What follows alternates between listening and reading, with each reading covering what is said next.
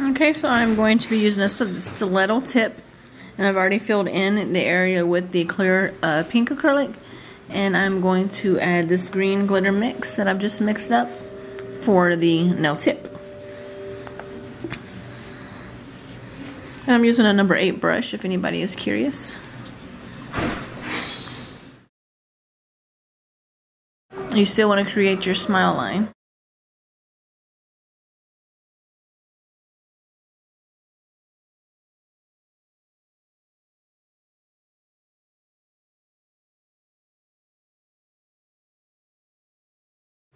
Okay, and once you have all the nail, the entire tip covered in the green, um, I'm going to apply the clear acrylic over the whole top and then file and buff. Okay, now we're going to file and buff the nail. Okay, now that I have, getting the frame here, now that I have filed and buffed the nail, I'm going to be applying some of these little stones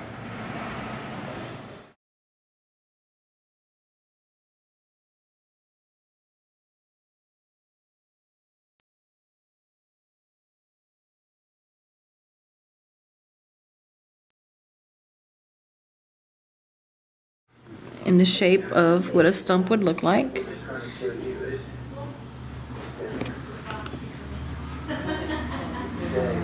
Just like so. And then I'm going just to pour some of this brown glitter right on it, on the glue. And then there is your stump for your Christmas tree. Now I'm going to apply a clear coat and I'm using um, Sally Hansen's um, Powerful Acrylic Gel, which is my favorite these days, to the nail.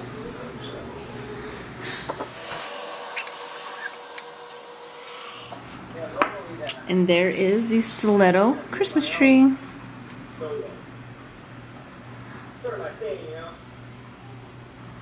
It would even be pretty if you didn't use a stump. It just makes a real pretty nail, even if you didn't have a stump. Alright guys, thanks for watching and I will see you at the next one. Stay blessed.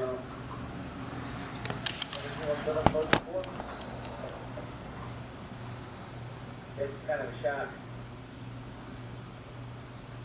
You know, being on the road, we've seen a lot. This has gotten a little numb to it. Come on.